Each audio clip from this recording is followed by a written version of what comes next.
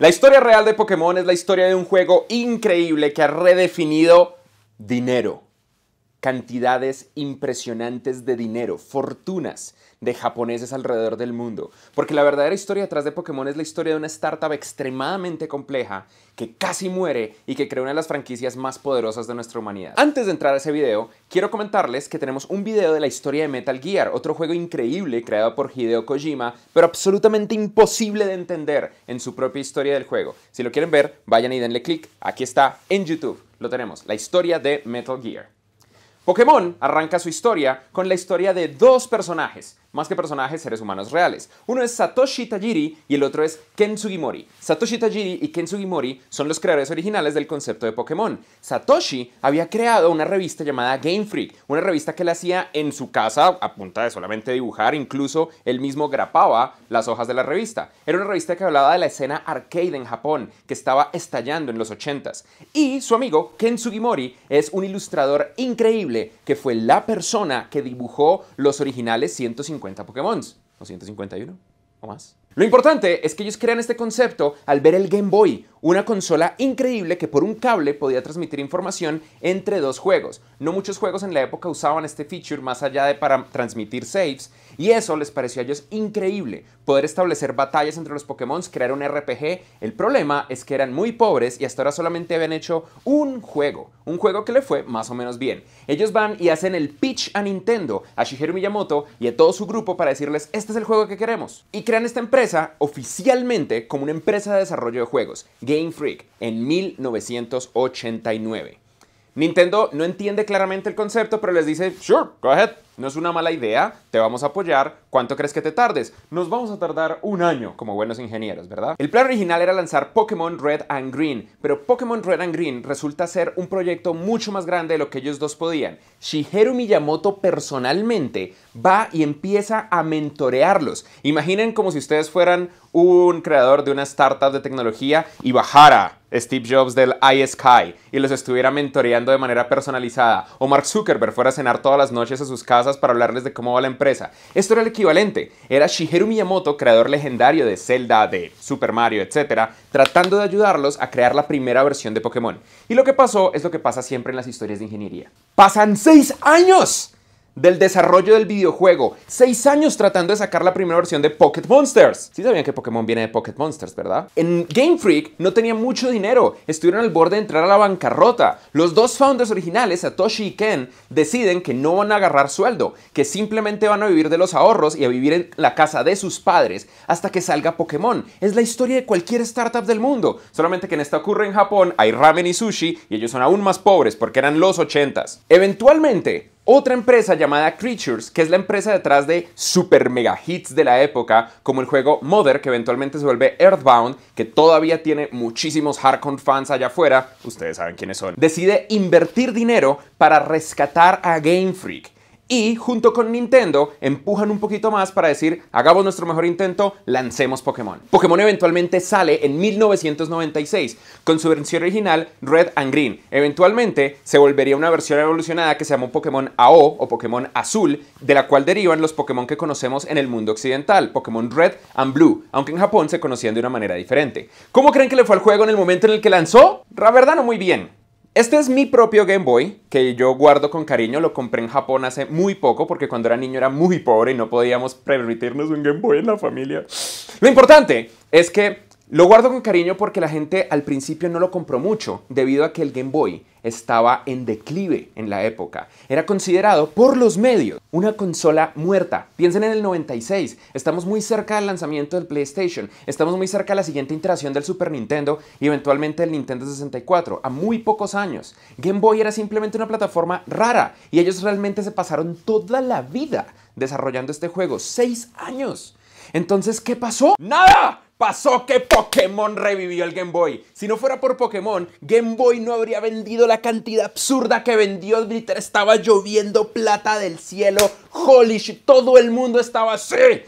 De repente, Satoshi y Ken pasan de ser estas personas completamente pobres a andar en yates por la costa de Japón de una manera extremadamente ordenada y probablemente con algún tipo de música antigua de la época Sugitori del imperio japonés, pero totalmente llenos de dinero. Se vuelve tan grande el fenómeno de Pokémon que en 1998 vemos el lanzamiento de The Pokémon Company, un consorcio de empresas que manejan toda la propiedad intelectual y los productos derivados de Pokémon. Sin embargo, como la empresa estuvo a punto de morir, como Pokémon estuvo muy cerca de la destrucción y la desaparición, la estructura de quién es el dueño de Pokémon es un poco rara.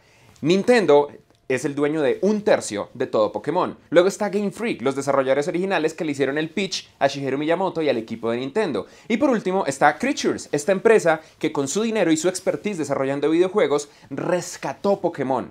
Curiosamente, Creatures ha hecho juegos de Pokémon independientemente de Game Freak, Game Freak ha hecho juegos de Pokémon independientemente de Nintendo, y Nintendo mismo ha hecho juegos de Pokémon independientemente de todo el resto. Por eso era importante que The Pokémon Company existiera.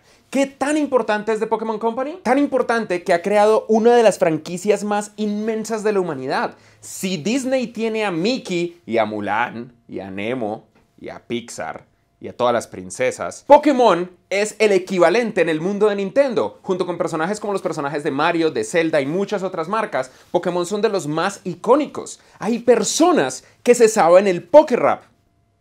Ni Dorin, ni Dorino, ni Do Queen, ni Dorin, ni Dorina, ni Do King. No, creo que la cagué. Pokémon ha creado juegos para todas las consolas móviles y desde el principio Game Freak siempre pensó, este es un juego para salir a la calle. Este es un juego para conocer otras personas, para intercambiar Pokémon, para batallar. Pokémon es básicamente la respuesta al videojugador sentado en el sofá arruinando su vida y nunca usando sus rodillas. La idea de Pokémon siempre fue sal allá afuera y diviértete sin importar la consola, mientras esa consola sea una consola de Nintendo y uno le entregue una cantidad larga de dinero a esta gran empresa japonesa. Pero Pokémon ha ido mucho más allá. Hay juegos de Nintendo 64, hay juegos en Wii, hay batallas Pokémon similares a las de Smash Bros. Hay un juego entero cuyo objetivo es ir a una isla, tomarle fotografías al Pokémon. Y entre más figuritas raras hagan los Pokémones, mejor se obtienen puntos para las fotografías. De Nintendo 64, Pokémon Snap, no los estoy jodiendo. Hay otro juego de Pokémon en Nintendo 64 donde hay un micrófono y uno le habla a Pikachu y se llama Hey Pikachu.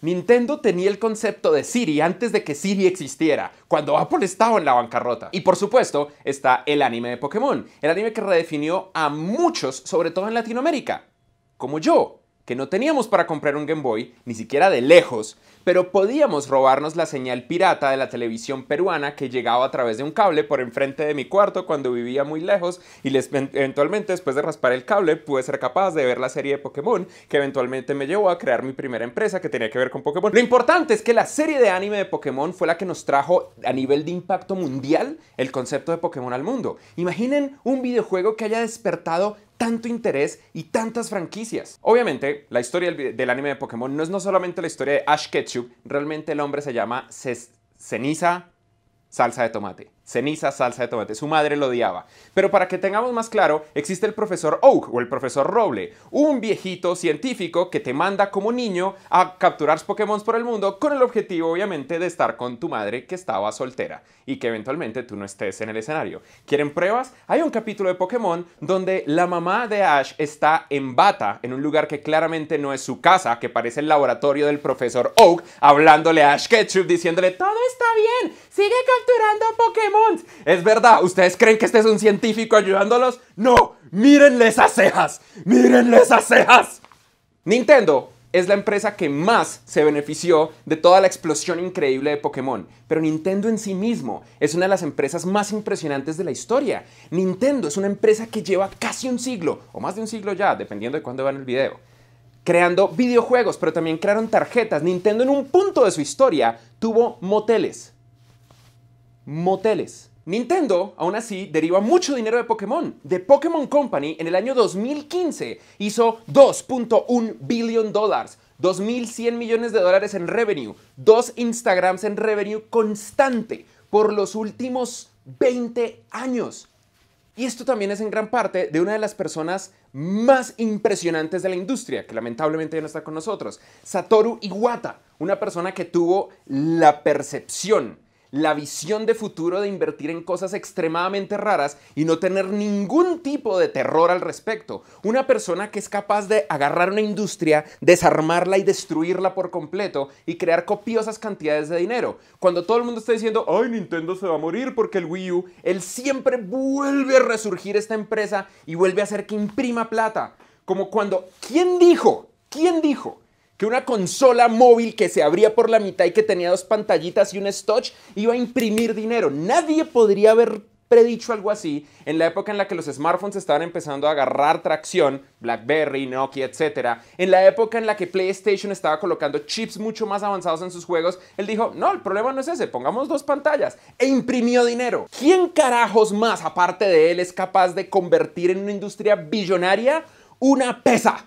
Una pesa, una cosa donde uno se para y se pesa. El Wii Fit Board del Nintendo Wii imprimió dinero a niveles que ninguna empresa de videojuegos pudo creer. Satoru Iwata tiene que ser el hombre más genio genio de la industria. Y por supuesto, Shigeru Miyamoto. Shigeru Miyamoto que básicamente creó esta industria con sus propias manos. Shigeru Miyamoto que reconstruyó las plataformas con Mario, que reconstruyó los juegos de aventura con Zelda. Shigeru Miyamoto. Lo más interesante es que uno de los componentes que hizo que el juego original de Pokémon para Game Boy fuera tan exitoso es este bicho de acá, este bicho de acá. Mew Mew era uno de esos Pokémon escondidos y de repente se empezó a desplegar el rumor de que Mew estaba disponible si uno explotaba unos bugs que habían en el código del juego para el Game Boy original. Mew realmente fue un secreto que implementó Satoshi en la versión original de Game Boy en Game Freak y no le contó a Nintendo y no le contó a Creatures.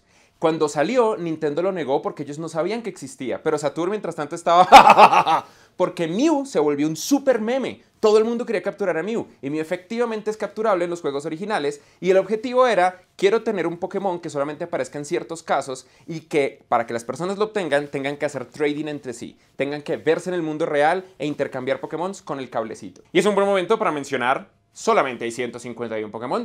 Todos los Pokémon que vinieron después, desde mi perspectiva, son un error. Son un error. Solamente hay 150 y Mew y Mewtwo, porque sí, tal. Pero solamente hay 150 y un Pokémon. En serio, estos son los nuevos Pokémon. Díganme qué carajo es esto. Hay, esto es un, cerdo, un cerdo gris. Unas llaves. Yo te elijo. Llaves. ¡Eh! ¡Eh! Esto no es un Pokémon. ¿Y qué carajo es lo de un merengón? Merengón, yo te elijo, diabetes. Pokémon llega a tal nivel de éxito que tienen aviones están por todos lados. Y eso nos lleva a este año glorioso de nuestro Señor del 2016, donde sale un humilde juego llamado Pokémon Go, que es la razón por la que todos de repente estamos volviendo a hablar de Pokémon. ¿Y qué es Pokémon Go? Es un juego muy sencillo. Simplemente activa la cámara y haciendo una especie de render muy muy básico de los bordes del lugar donde está, genera con realidad aumentada un bichito al que ustedes le hacen swipe y sale una Pokébola y lo captura y tiene lugares basados en GPS donde uno puede ir a agarrarlo. Ustedes saben que es Pokémon Go, ya han visto un montón de videos de Pokémon Go. Lo que probablemente no saben es lo impresionante de Pokémon Go. Es un concepto muy sencillo, tiene realidad aumentada a un nivel adicional. Hay realidad aumentada que simplemente nos da información adicional de nuestro entorno y existen estas alteraciones de la realidad que son una subdivisión de la realidad aumentada donde podemos crear videojuegos. Este, por ejemplo, es claramente Diglett Diglett, solamente hay 151 Pokémon, apareciendo de un lugar donde probablemente aparecería. ¿Y qué es lo que pasa cuando sale Pokémon Go? Un juego muy sencillo, gratis, para iOS, para Android. No pasa nada importante, excepto que el mundo se volvió loco. De repente, marcas de todo tipo están diciendo, ¡Hey, vengan acá porque aquí hay Pokémon!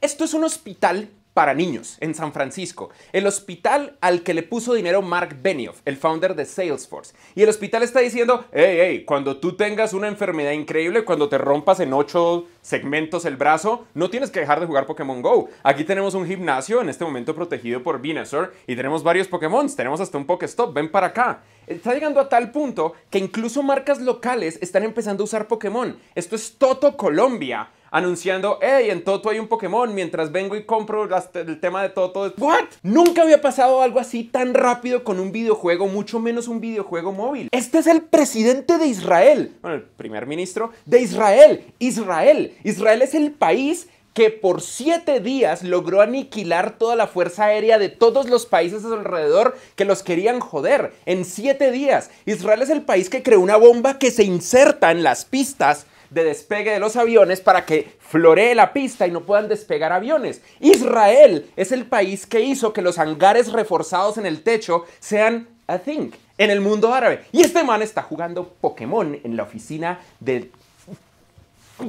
Pokémon se está volviendo tan, tan, tan popular que el tiempo de uso de Pokémon está por encima incluso las startups más grandes en este momento. Más, más tiempo que Facebook, más tiempo que Snapchat, más tiempo que Twitter, más tiempo que Instagram. Es impresionante la cantidad de tiempo que la gente pasa en Pokémon Go. Y obviamente es porque es la novedad, porque acaba de salir pero estos son números que no se pueden ignorar, al punto de que el mercado no los está ignorando. Muy poca gente sabe de Game Freak, de Creatures, de The Pokémon Company, pero todos saben de Nintendo y los mercados reaccionan a las emociones. Nintendo está en la cúspide de su felicidad y en este momento Nintendo y su acción están más altos que nunca.